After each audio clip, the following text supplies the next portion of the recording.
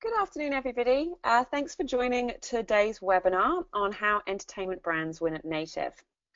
Today you're going to hear from what's going on behind the scenes.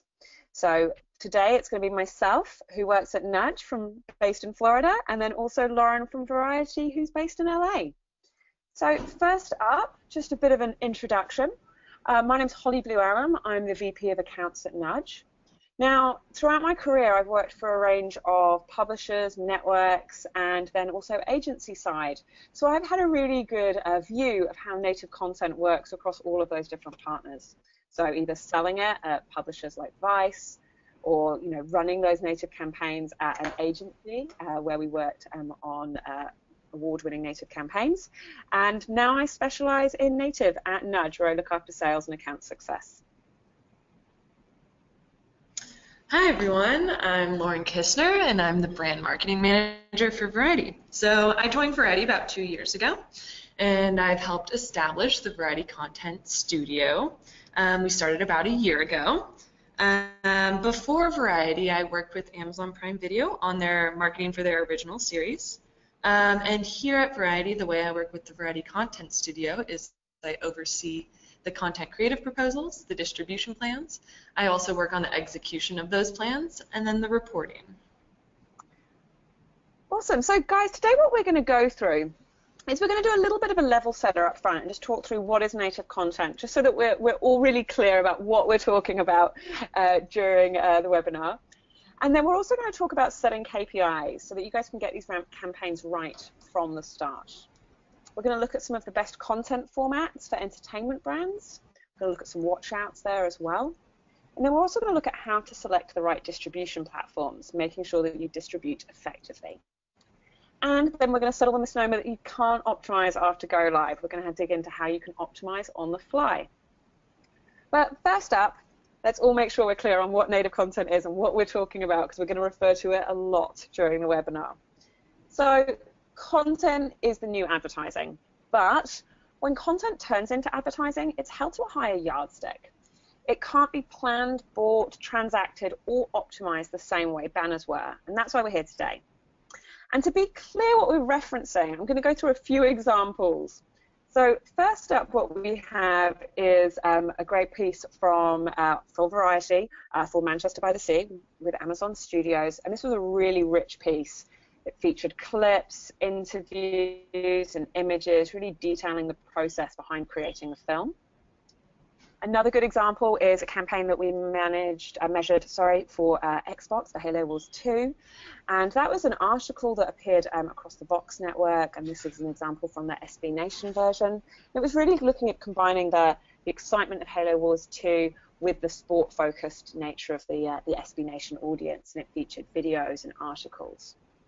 And then another really great example, and actually one of my favorites, is um, another piece that was on Variety, and this was for the film Loving. Um, this was a really, you know, beautiful piece of con- well campaign. Really, it included multiple pieces of content, some that used um, original articles from uh, back when when the case originally happened, talked about the movie, lots of really rich content for uh, for the consumer to enjoy.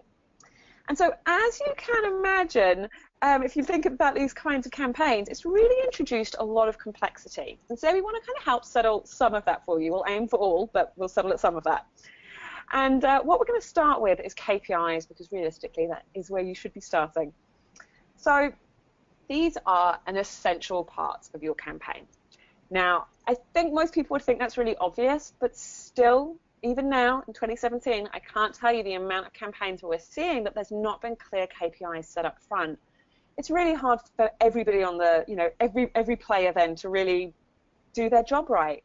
A, it's hard for the agency to actually prove the ROI back to the advertiser. It's hard for the advertiser to actually know that it worked. It's hard for the partner if they weren't sure to what they were supposed to be aiming for exactly if they performed well and you know what they can do next. So it's really essential that you start off here, and there's a couple of ways that we think about this. First up, campaign objective. Again, I know it seems really obvious, but we really need to take a think about what we're looking to do with the campaign.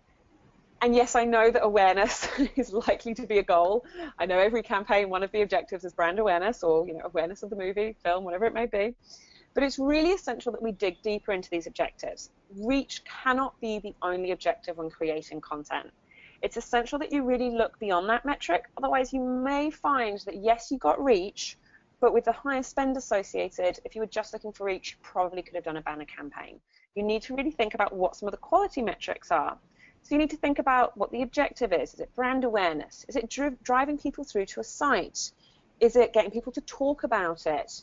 Is it, you know, getting people to, you know, change their perception? All of those have really different quality metrics so that you can prove the ROI of the campaign. Yeah, Holly, jumping in here. Um, I in entertainment, we noticed two um, main endemic goals in these campaigns. Um, one being nominations, so if it's a film or a TV show, being nominated for awards, and the other one would be tuning in. So that's a little more consumer focused. So we really see um, two type of object objectives in reaching a voter audience or consumer audience. So we really do work backwards from those goals to then set the KPIs. Definitely. Now, so you, you figured out what those goals are, like you said, maybe it's getting someone to watch a show, maybe it's getting someone to vote for something, but you need to kind of then back that into the right metrics. So what are the right metrics for you? Well, depending on objective, that's going to make some changes.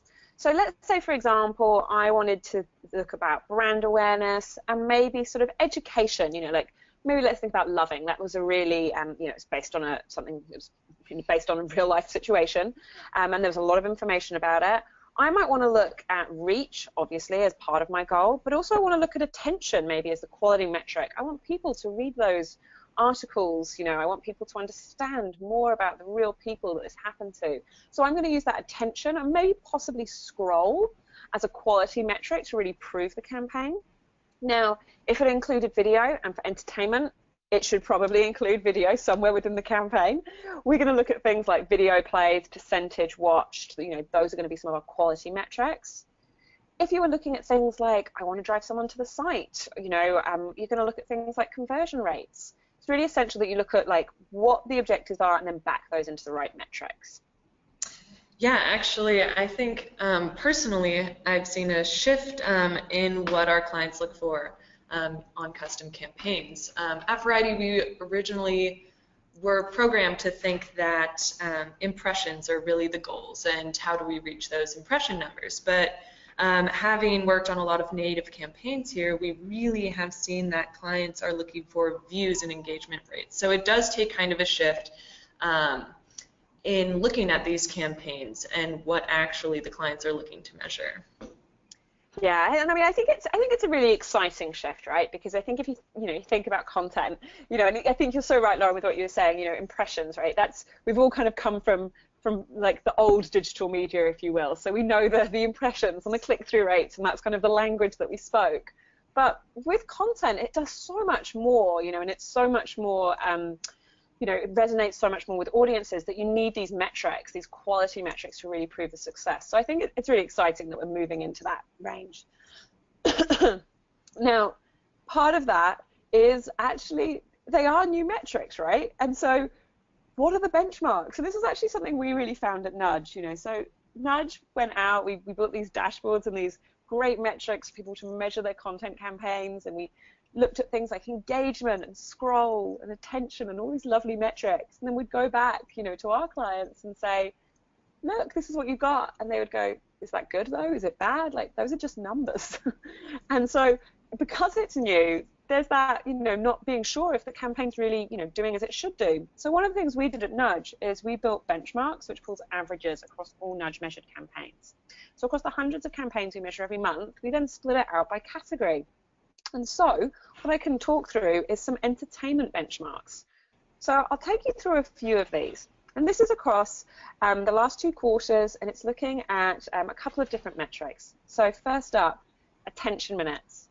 Now just to note, attention minutes are a little bit different to time on page.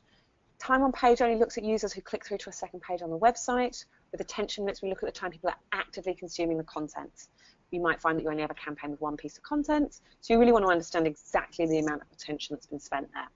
Now with entertainment campaigns, we find it's around 0.9. Just to give you a bit more insight into that, across all nudge measured campaigns, across all sponsored content, it's around 0.8. So it's coming in a little bit higher for entertainment. we look at how far down people are scrolling through um, entertainment campaigns, it's around 54%.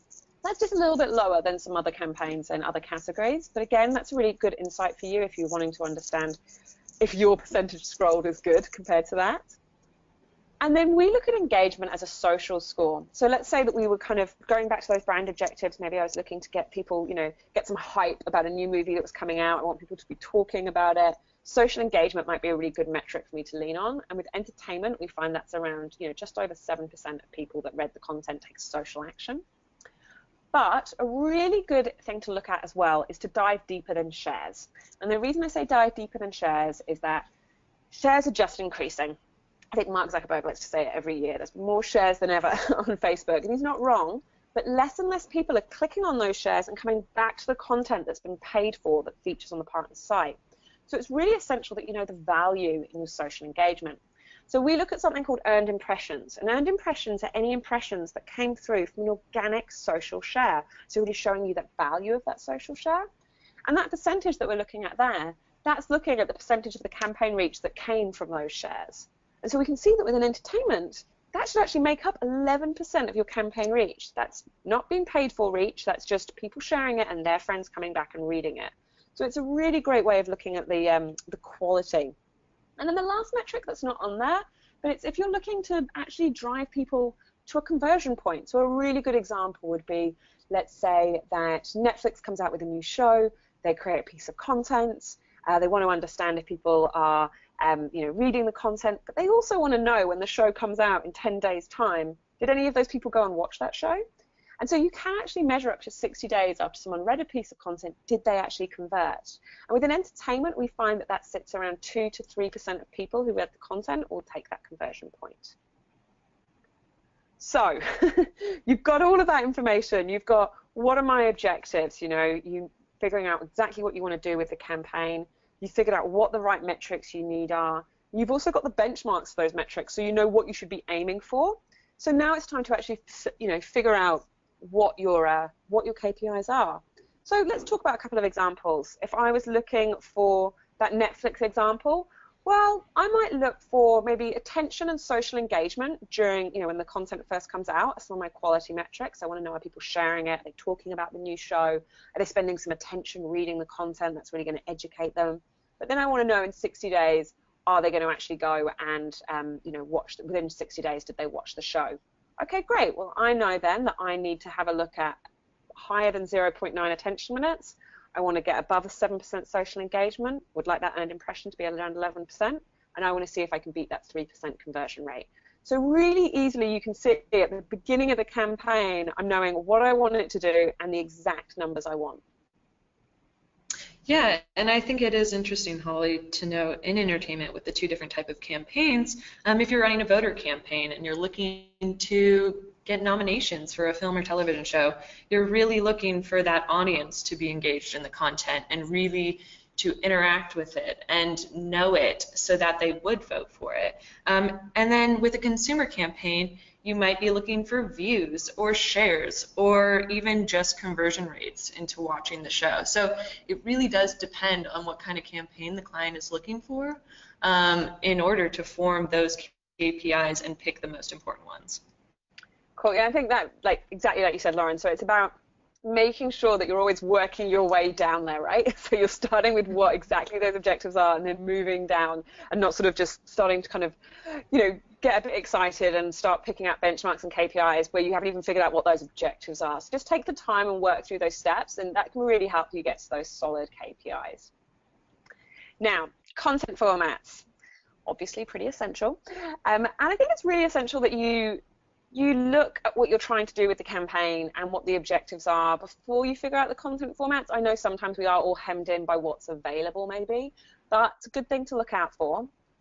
And so, something that I would just note here is a couple of formats that are really good based on your KPIs. So, we talked about conversion rates. Based on nudge data, we can tell you that articles with videos combined, so articles with a video throughout the content piece, are more likely to drive higher conversions than any other content format. So nice to know if you're looking to do that. Some other things are articles are going to drive higher attention. It does tend to. Even higher than if you just have a video. So even if you're just going to do a video, I would really, you know, strongly suggest, you know, depending, if you're just going to do a video, you're going to push it out via social, then that's great. If you're going to do a video and it's going to be on a partner site, putting some content within there is going to get people to spend longer on the page um, and get them more likely to kind of take that post-purchase intent.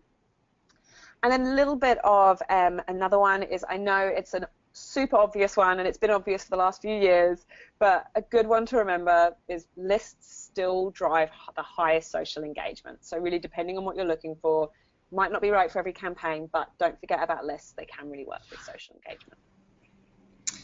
Yeah, Holly, um, for Variety personally, we um, experience um, a big decision when it comes to choosing the right format. Um, with having Variety.com, Variety, our weekly print issue, our social media, it's really important um, to make sure we are choosing the right format and placing it on the correct platform. Um, and so the different formats that we um, experience is we can do a custom article. We can dig into our archives, like the example we had with Loving, and really pull out um, some content um, that was relevant from the time period. Um, we can do videos and we can do photo galleries. There's so many options, and I think really looking at the KPI is important. So if a client is looking for views, um, their main focus is they want as many views on that content as possible. Maybe we wouldn't create a hub. Maybe we wouldn't make it harder for the viewer to actually um, watch that video. So we would maybe do a social strategy instead um, and push the videos out on that. So I think it is important to look at what the KPI is and then work backwards and choose that format. Definitely. I really like that example of that. Like maybe it's if it was just views like on a video for example well then maybe you just want to push that video out via social you know like really being that kind of flexibility depending on what those KPIs are so really good to, to stick with that and then just a couple of watch outs we've talked about video, and of, of, course we can't talk about the entertainment category without talking about video. um, it just wouldn't work. But I just want to do a bit of a watch out here, and this is something that we've seen happen quite a few times on campaigns. So you're probably going to have video as an element in your campaign. Maybe it's going to be on social, maybe it's going to be somewhere else. But one of the things that we've seen not work very well is where you're driving people through to a content like on a publisher site, and there's a video like when they when they click through, let's say from a social post, there's a video that's auto playing. It's like taking up the whole screen. When that happens, I think the average is around 65 to 70% of people are likely to leave the page immediately. So just just think about that. you know, with 70% of people who came through to land on that content to watch the video are going to leave immediately. And I think if you look at why that is, you know, video sometimes just takes a bit more of a buy-in from people. And so let's say I've just clicked on a, Facebook post, you know, someone shared something and it's it's got a headline and an image, a bit of about copy. I didn't know that I was going to watch a video, and I don't really know a huge amount about what the video is. Now, immediately, if you put a headline above that video and maybe a couple of lines of text, people are more likely to stay on the page. It's just with videos, there can sometimes be more of a buy-in, and so it's really good just to make sure people understand what's about to happen. And then you'll see those people staying on the page a little bit longer. Now, another one, Lauren talked about it a, little bit, but um, is content hubs. Now, some content hubs we've definitely seen people getting better at them, and but some content hubs we've seen in the past they're really over stylized, and this is watch out for, for agencies and brands as well. In that sometimes you know the publisher really wants to help the brands and agencies so much that the the hub ends up looking more like the brand site than the partner site than the publisher site. And remember, the people that are coming through to the content probably already know what the site looks like, so they're used to discovering content that way. So it's really important that you make sure that the hub is designed. It's designed to be friendly to the user, to the people that read the site all the time, um, but also just not to be completely um, not, not sorry not to be completely, but just not to be so hard to navigate. We've seen some hubs where it's just been so hard for people to understand where they should be going, or maybe there's interactive things and they, they don't know because it's so different, and so that can can just add a barrier to people to get to the content you want them to uh, to read or watch. Yeah, definitely, Holly. We actually experienced that um, in the past. Our original hubs were more of a scroll-focused hub, so really they had to scroll through to view all the content. There were no tabs. Um, it was less interactive, and we saw some drop-off rates on that. Um, and so what we've done now, and as you could see in those examples earlier, is we make it a lot more interactive. We have tabs, we have click-throughs, um, there's more video, easy to play, some article. It's really more of an experience rather than just a scroll through and see all the content. Um, they kind of get a little more lost in the hub than if they would um, scrolling through just a one pager. Yeah, I mean, and I have to agree. I think, um, for example, I mentioned before I was a fan of the loving piece just because I thought that was so great, pulling in those, you know, articles and stuff from from the original time.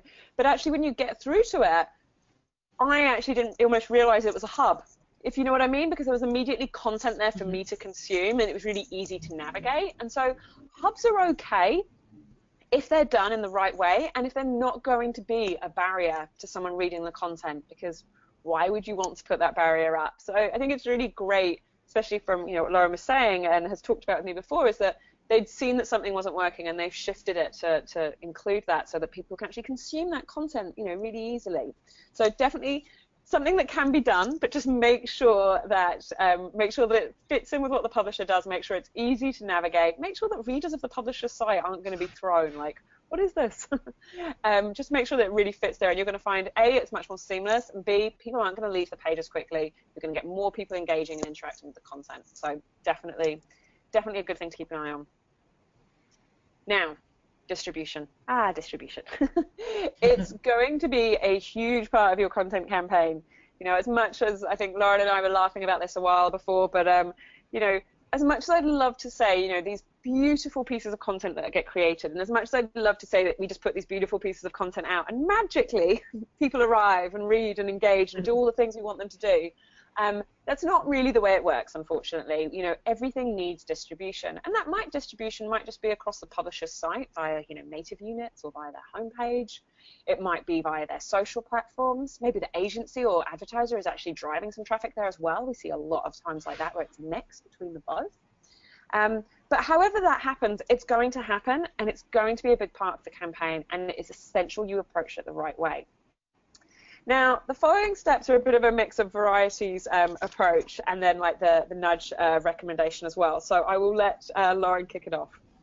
Yeah, definitely. Um, so first of all, when we're working with a client, we want to make sure that we are using a preferred content medium. Um, so maybe they'll already have some video footage that we could work in or some text that they would like worked into an article. It really is looking at what the client already has um, and how we could work it into our own content. Um, next, we look at the target audience. So we really look, are they trying to reach a voter audience? Um, maybe they that would skew older. Those that audience would read our Variety print um, or Variety.com. Maybe they would spend less time on social media.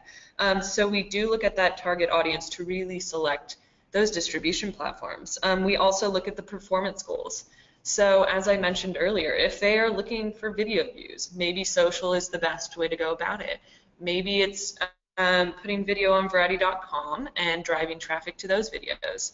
Um, it really depends on what the goals are of the campaign. Do they want something tangible that they can take back? Um, for example, the Loving campaign, we created a print um, section in our weekly edition that was a tangible object that actually some of the stars from the film loved to have themselves and took 10 copies home. So it really is, you have to look at those goals first um, before you select those distribution platforms.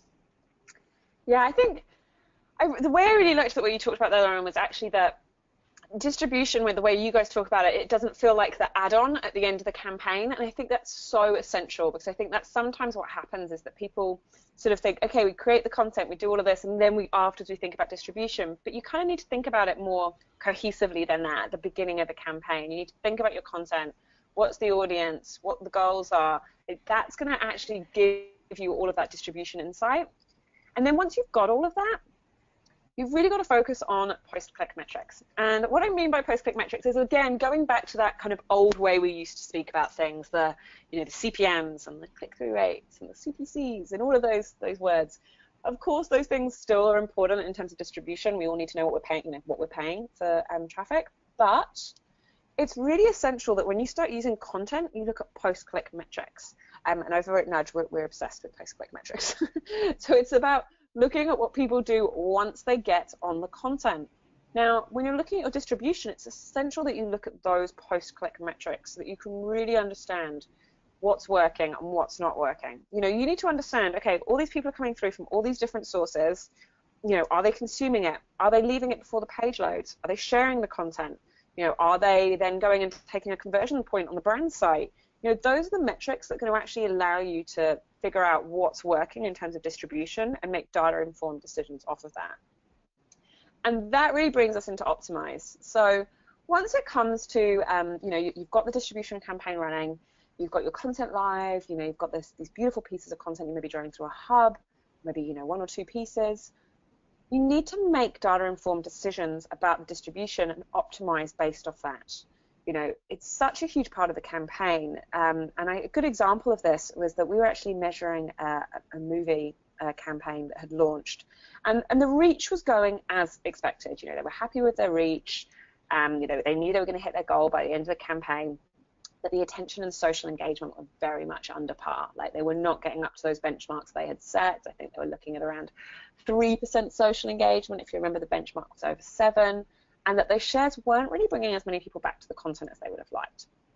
So what could they do? Well, in this case, what they were able to do is actually look at how people are arriving at the content and what those post-click metrics, and what they were able to look at, the agency and the publisher together, was that they could see that out of the five different native units, three of them that were running across the sites and maybe some of their network just weren't performing that well. They were driving quite low attention and a bit of a higher bounce.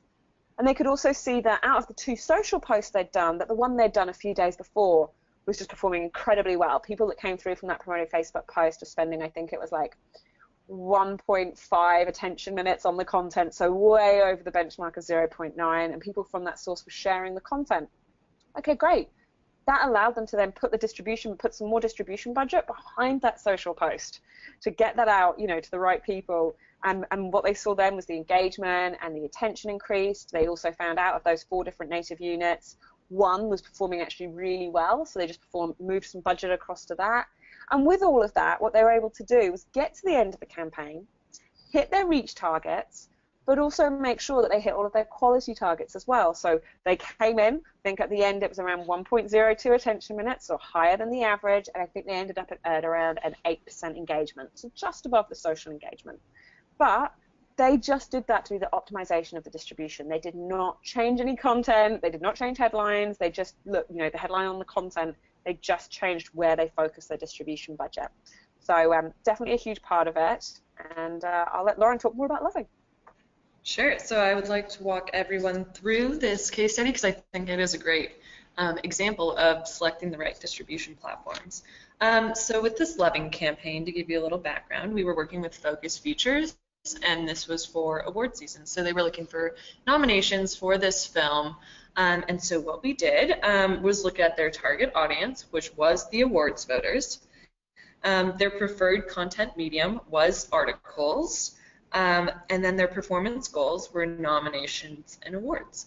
Um, and so a interesting way we decided to make text seem a little more fun um, was to dig into our archives and actually analyze the daily conflict um, of marriage equality in the 1950s.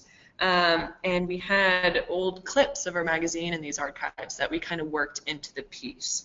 Um, and so with that content, then we selected our distribution platform. So we included, as you can see on the slide, we included a section in print um, for the um, custom article. We promoted it on Variety.com um, through the custom hub that we designed. Um, we also pushed some of this content out on social. And as I barely touched on earlier, um, we actually distributed um, the issue that this feature was in at our 10 Directors to Watch um, event in Palm Springs, and in attendance was Ruth Negga and a few other um, stars and crew of the film, and they really just loved having a tangible object. I think they took like 10 to 15 copies for themselves of this story. Um, and so it really, I think this was a great example of something that um, included multiple platforms um, in one campaign. Yeah, I think I mean I think the great thing is that you're going to have some of those kind of campaigns, aren't you, where they're going to be things that you can do all of this stuff for. Now, of course, not every campaign is going to be the same. Not, not all the budgets are equal, right? so some campaigns it might be small things. It might just be moving budget against a different social post. For some, it might be just really looking at all of these different options. But just take the time, think about the content, what's available, think about the audience you're trying to reach, what those goals are make sure to keep an eye on those post-click metrics, and then based off all of that, make data-informed decisions to optimize the campaign. Which leads us very nicely into optimizing on the fly. So too often, and definitely too often in native content, people operate under this assumption that once a campaign is live, you know, that's it. It's done. like it's launched, goodbye. Um, and that is really not the case when it comes to the content you know, I'm going to talk through um, a few sections now when uh, you can see that what you have some some really great examples and some great steps to kind of optimize on the fly. And then after that, Lauren's got a really great example for um, the Amazon campaign where they basically did all of these steps in one. So first up is quality distribution. Now, obviously, I know we've just discussed it, but it's a bit of a recap. Is that this is where most of the optimization is going to happen during your campaign. You know, it's it's an easy thing to change. You know, you can set these campaigns up, you can get your, um, you know, get the distribution started, and you can move budget. And the great thing as well is native ads can be created on the fly. You know, so you can really move things here. And I have to say at Nudge, we have seen so many campaigns where small distribution edits have made the difference to, you know, hitting those um, hitting those KPIs and actually proving the success. And so I think if you're an agency or brand here, it's essential that when you work with partners, publishers, that you um, make sure that they're flexible with the distribution, as a lot of the times, unfortunately, until a campaign is launched, you're not going to know what's working best. Now, even for publishers in this case, obviously you've got a bit more information here. You you guys run distribution across a lot of campaigns, but you know not all content is created equally. And uh, what you might find here is that you also don't want to back yourselves into a corner. You don't want to say, hey, we're going to just do via this unit, we're going to do this many impressions, via that, we're going to do this. It's more of a, hey, look, here's all the impressions we're going to do, here's the budget that's going to go into distribution, and here's the option of partners that we're going to, you know, distribution things that we're going to look at, but we're going to move the budget based off the what's performing. And for most of the time, from most agencies we work with, I think they really respect that as well because they're, you know, you're saying we're going to make the best decisions uh, for the campaign based off what works. And another part of that is devices. You know, I, I would love to say that every single piece of content is going to perform equally well on every device, but unfortunately, for a lot of the time, that doesn't actually happen. So, you know, when it comes to uh, devices, you really need to understand how the content's performing across each of those. So a good example of that is we were working on a campaign recently where exactly what we were talking about before, where they had that autoplay video on the background on desktop, and it was causing really high load times. So people were just like leaving the page. You, you know what we're all like now these days. If something doesn't load in a few seconds, we're probably out of there, right? Um, probably even less than a few seconds. and uh, what they did is that because they knew that the video would cause even worse load times on mobile, the partner had said, look, we're not we're not going to do an autoplay video on mobile. We're just going to make people hit the play button. We'll go from there. But what they could find out, which was that on mobile, people were spending like double the amount of attention on the you know on the um, on the page because the load time wasn't really slow. They could actually connect with the video, they could play, um, and then they'd actually watch it. But because of the desktop, so many people were leaving the page. So immediately what they thought was, great, let's just target, let's move our distribution budget to mobile, and we'll just see if that if that data really backs that up and they found that as they drove more traffic to mobile, attention on mobile was just increasing, um, and they could see that, yeah, that made the difference. And from there, they then made the content edit to desktop where they made it, you had to interact with the video before it played. And then overall, their attention um, increased dramatically um, across desktop, and they were able to end on a real high with that campaign. So it's really important that you look at how people are consuming the content on different devices. Don't just look at it, okay, across the whole campaign, this is what we're getting click through within your dashboard, whichever dashboard, hopefully Nudge, but click through and understand are people consuming it on desktop the same as they're consuming it on mobile? Okay, if they are, fine. But if they're not, you need to know that because then there can be optimizations to be made based off that information. Now we have a bit of a, we call multiple pieces of content in a campaign. We call it like the insurance for your campaign.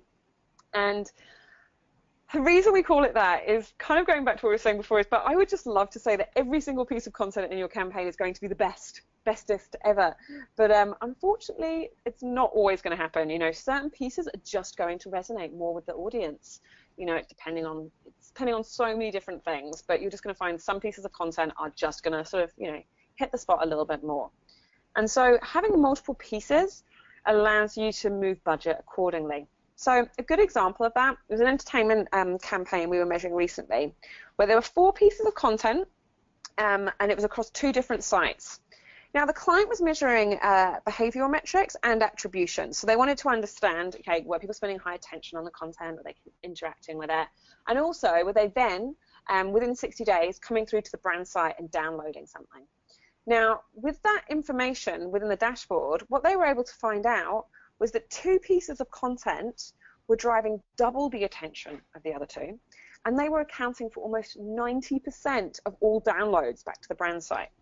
Okay, well, great. That means that they know these two pieces are, re- are resonating the best. Let's move a distribution budget behind that. The agency and publisher came together on that, and they were able to really effectively figure out the plan. They put the budget behind it. Those two pieces, they found the engagement increased, the um, the attention. They got more downloads, but also at the end of the campaign they could really look at it and go, well, what was it about this content that resonated more? Because then they can always expand on that for their next campaign as well. And that's really great data for both agency and publisher. It means that everyone's got more information about it so they can make better campaign decisions. Now, content edits. There's a couple of things that can come under content edits. Now, the reason I normally say this should be the last thing is depending on the kind of edits, this could be where you're all of a sudden into that nightmare rat race where you've got to sign things off from clients, agencies, partners, Fred, John, anyone else that might need to sign it off. And that can really hold things up. So when I say those content edits, that's more about changing the copy in the, you know, in the article. It's more about changing videos and things like that. There are small content edits which can be done relatively pain-free. And by that I mean things like share copy Share copy can be a thing that can massively change a campaign. You know, we talked about those earned impressions before, about the shares that bring people back to the content. Well, we were working on a campaign where we saw that the shares were just not working. Like hundreds of shares on Facebook, like five people came back and read the article. So out of all of their friends, five people came back and read the article. We reviewed the share headline and image and just saw that the image was real stock photo. Like it just didn't work. They changed the image. They increased their earned impressions by like 25%. And that was through no massive content change, that was just changing an image. So those things and like changing headlines, for the most part, can be fairly pain-free. There are some other things you might want to look at, like, okay, I can see that people are scrolling 54% of the content, and we've put the video that we want people to watch at 70% of the way down the content. Well, I might want to be moving that video further up. Well, I definitely want to be moving that video further up. I want to make sure that it's in eyesight, you know, before people leave the content. So after that, you probably get down to your kind of more bigger rewrites, but depending on the length, the duration of the campaign and investment, you might not decide to do it. But those are the kind of content edits you can do that can really make a difference. And I will hand over to Lauren, who has got a really great example of almost all of those things being done at once. Yeah, Holly, this one um, definitely is an example of all that you just mentioned. Um, it's not always like this. Um, sometimes it is just the minor adjustments in a campaign. Um, but we, in the entertainment industry, anyone who's familiar with award season knows that there's a phase one and a phase two. Phase one being that um, it is marketing for the film um, to be nominated for an award. Um, and then phase two being focused on the voters and making sure that the film is voted for so that it can potentially win one of the awards. Um, and so this campaign with Amazon, it was actually to promote two of their films. So one being Manchester by the Sea and the other one being Gleason. Um, and so we started in phase one with both films. Um, and once phase one ended, we realized that the nominations were skewed um, in favor of Manchester by the Sea. So Gleason received 19 nominations, and Manchester by the Sea received 226.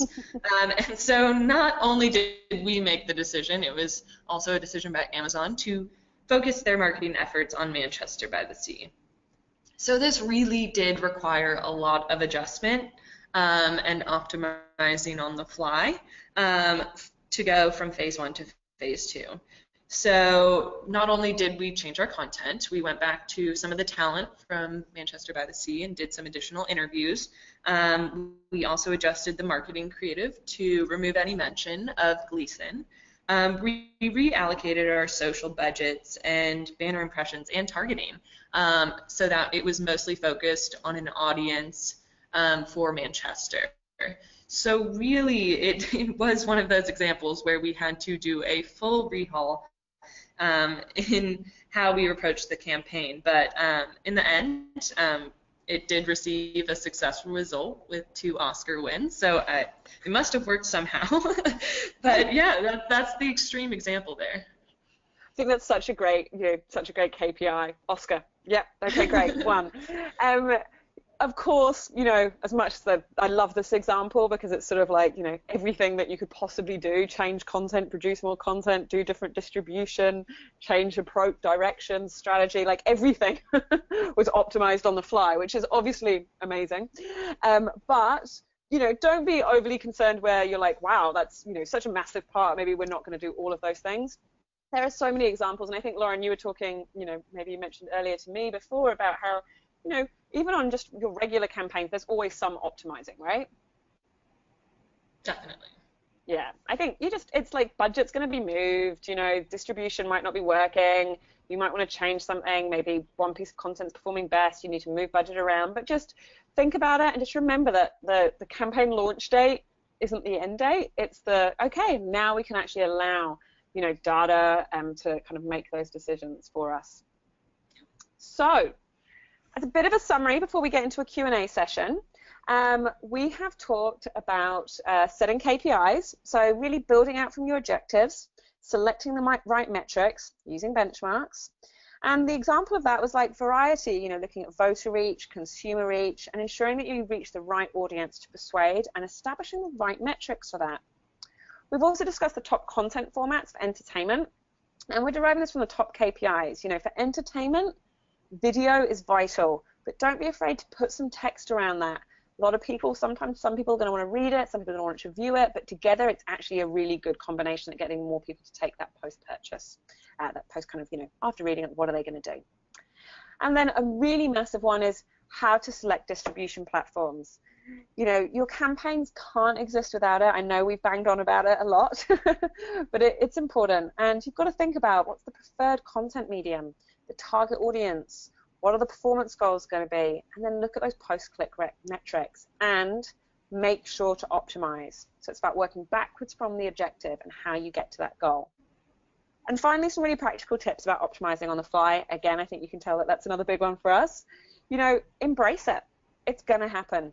Uh, you know, it's it's going to happen in almost even the even people we know that have been doing these campaigns for such a long time. Even the publishers optimize. Everybody optimizes and that's a great thing. It means they're actually looking at the results and making decisions based off that. So really embrace it. Look at quality distribution, balancing things between different devices. You also want to um, look at adjusting the spend to the right piece of content and, when necessary, making light edits. Now, Lauren obviously gave that great example of taking market feedback, changing market conditions to force changes, and that works as a really great example of what can be done when needs to be done, adjusting the focus to the most important piece of content, and then elevating what was working. So a really nice example of how phase one to phase two shift can really change up. And then, of course, they won an Oscar. So great, great KPI outcome there. um, so as you can tell, it's obviously important to optimize. Now, just quickly, here's, um, here's a little bit about how Nudge can help. Nudge is a native content analytics platform, and we're really here to help you execute your native campaigns seamlessly. We provide you these tools for running your content campaigns, looking at everything to those rich behavioral metrics, looking at benchmarks to actually help you, you know, set those KPIs, insights, attribution, looking at the distribution, really providing you with all the things to just make that campaign seamless and effective. Yeah, and here at Variety, we have our own in-house content studio. So we are really helpful throughout the entire process, um, if it be ideating, um, programming talent, um, producing the content, distribute just distributing the content and optimizing that content and reporting on it. So really, we do it all in-house, which is um, a, a, great asset we have. Um, we also have access to entertainment's most prominent power players and talent. So this is actually really helpful for a lot of our content.